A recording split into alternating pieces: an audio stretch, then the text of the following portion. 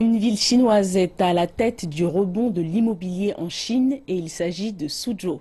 CCTV s'est donc rendu dans l'est de la Chine pour déterminer les tendances à long terme du marché de l'immobilier. En avril, Suzhou a ouvert la voie à l'augmentation des prix de la location des terrains en Chine.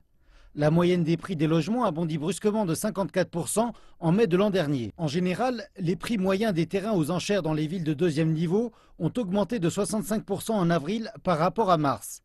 Cela dépasse largement la hausse de 2% dans les principales métropoles du pays. Je pense que les promoteurs immobiliers sont encouragés à réanimer le marché pour dégeler davantage de financement pour des baux de terrain. Les prix et les ventes de l'immobilier en Chine ont augmenté au cours des mois récents grâce à des politiques plus souples de prêts et à la croissance modérée des nouvelles constructions.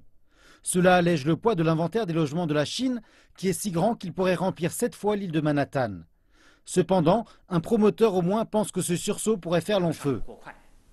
À cause de l'augmentation rapide des prix de l'immobilier, la barre pour les achats de logements se place elle aussi plus haut et le gain de pouvoir d'achat des acheteurs n'arrive pas à suivre.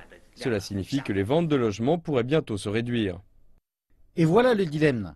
Selon les économistes, le gouvernement veut suffisamment relancer le secteur immobilier pour qu'il atteigne un objectif de croissance de plus de 6,5% pour 2016, sans que sa surcapacité et son problème de la dette n'empirent.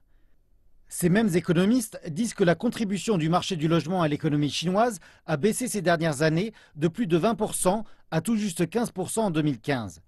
Mais ils ajoutent que pour cette année, réduire l'inventaire de logements demeure la toute première priorité de la plupart des promoteurs.